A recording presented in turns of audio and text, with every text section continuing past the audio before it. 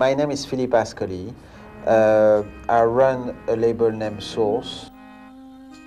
I met uh, Simian through, uh, first of all, the management. I went to see them in Stockport. That is really a strange place for me as a French guy. I arrived, they banned my eyes. They put me in the car, they kidnapped me, and I was really afraid. But it was really raining, it was terrible day. And in my head I say, I hope that they are good, because if they are not good, I leave direct.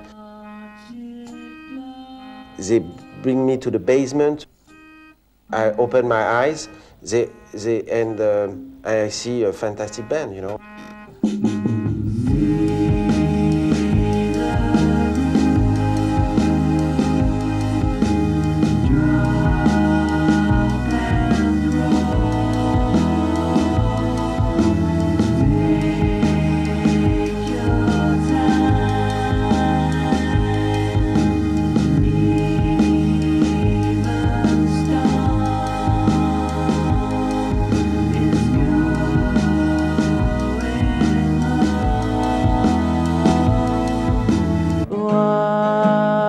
It glow.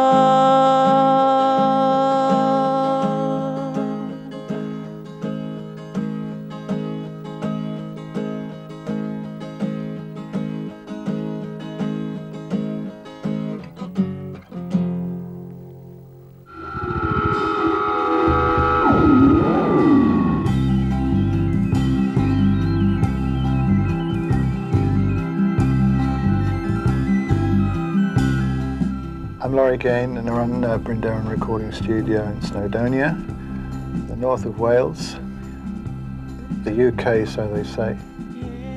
At the moment we've got Simian and uh, we're really enjoying it. I went over. I went over to Manchester to listen to these recordings, and uh, when I went over to listen to the what was supposed to be demos, he uh, he played me these demos, and they sounded like finished recordings to me. So I just sort of went.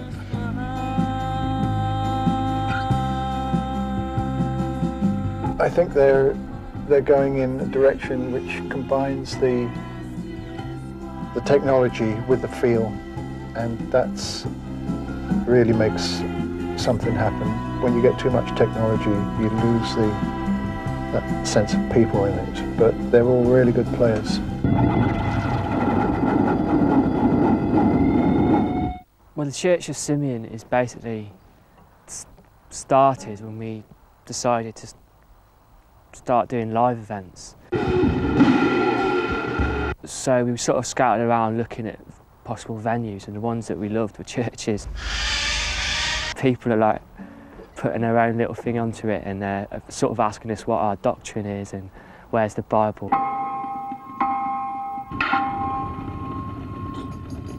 Simon changed, uh, I think Simon changed a lot from the first time I met him. I think he got a lot of charisma and uh, he, he changed uh, a lot. He's a really a rising star, I think.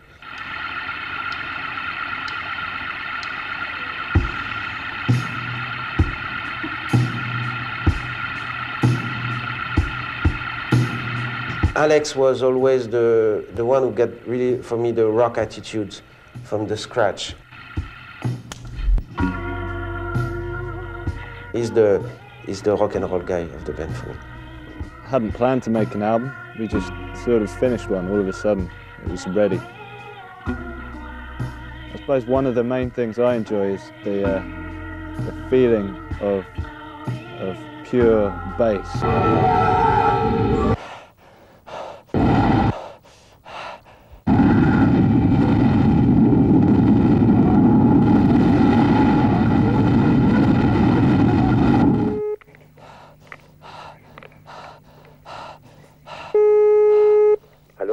His art is just, uh, it just works on so many levels. My name is Thomas Grünfeld. I'm an artist. It's so simple, but it's stunning. We have here in one animal, we have the protector and the protected, the hunter and the hunted.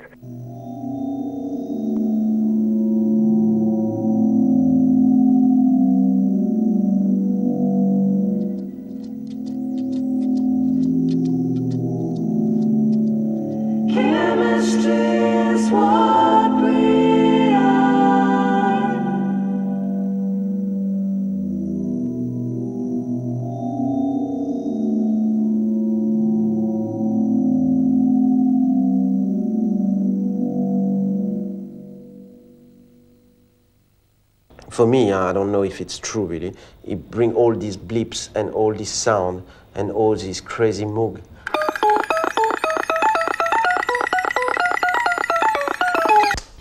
I think it's the psychedelic of the band.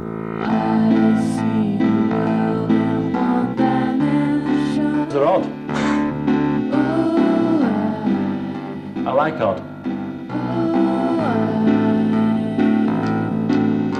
Quite often when we're making a track, um, we can just get all the various pieces that we've thrown into the computer.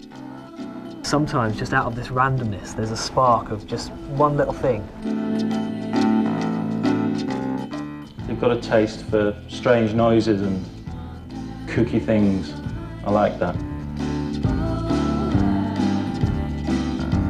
It's good. The way the studio is set up is there's the computer in the middle, and then there's just keyboards and pots and pans, bits of percussion.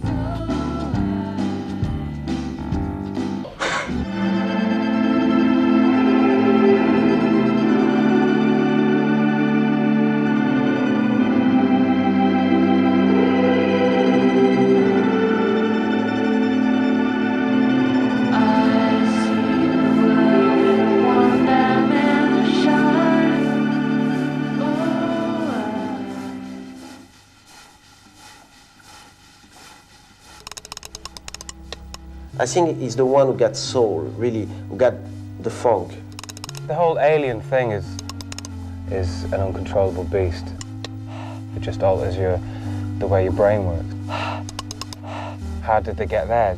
How did they sort of get into that realm? That's something we're going to, you know, really pursue.